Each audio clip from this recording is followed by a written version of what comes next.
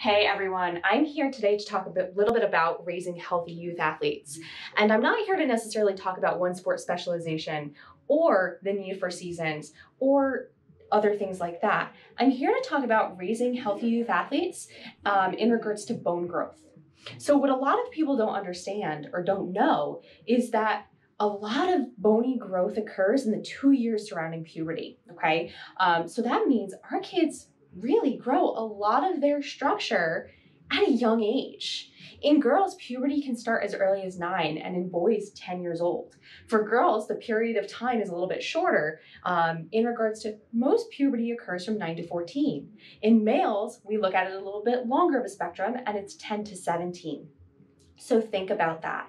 If our kids are growing bone that early, how do we set them up for success? Obviously, we know about these bone kind of conditions that occur later in life, such as osteoporosis. If we help our kids grow bone early, can we help prevent those over time? The other thing I think is uh, that should be of concern is that we see more and more adolescent athletes as well as adult athletes um, and even teenage, okay, those young young youth athletes coming into our clinic with these bony stress injuries otherwise known as a stress fracture. And stress fractures can come from numerous different things. However, if we help set our children up for success in the early stages, okay, of their bone accrual, do you think that could help? I sure do. So, how do we get bone growth to be at its peak during these times? Children need unpredictable and variable loading to their structures, okay, to their bones.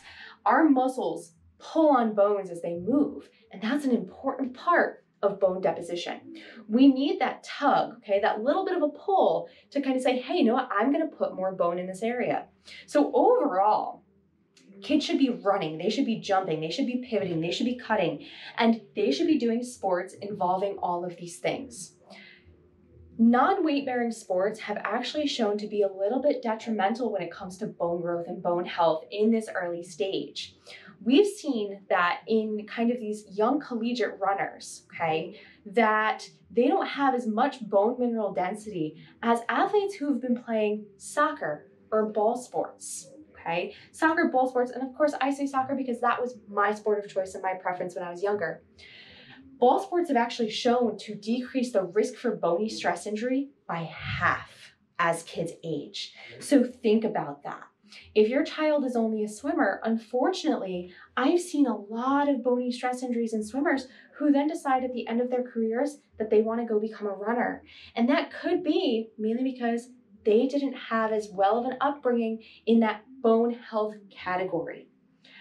Really, getting your kids out and moving from the ages okay, in the prepubescent years, so the time right before they hit puberty and throughout puberty is of utmost importance. And I want you guys to really think about that. This message is really to parents to get your kids out moving to make sure that we can kind of give them this kind of great outlook for bone health throughout life. Now, if you are suffering from a stress fracture, if somebody you know has, whether it be a young child, adult, there are other reasons why stress fractures can happen.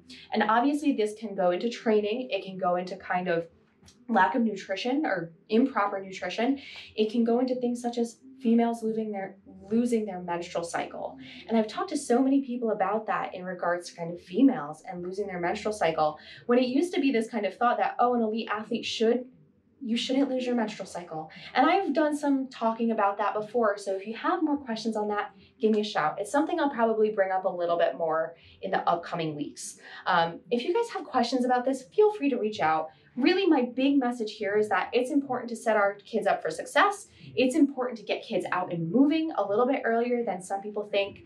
Uh, get them off the couch. If they are playing video games, make them do an interactive video game. Do something moving, okay? Jumping, weightlifting, moving, ball sports. Yes, there may be a little bit of a risk for more of a traumatic injury. However, it's gonna be better for overall bone health as kids age. All right, guys, like I said, if you have any questions, let me know. Um, and I'll be back with another topic in a few weeks.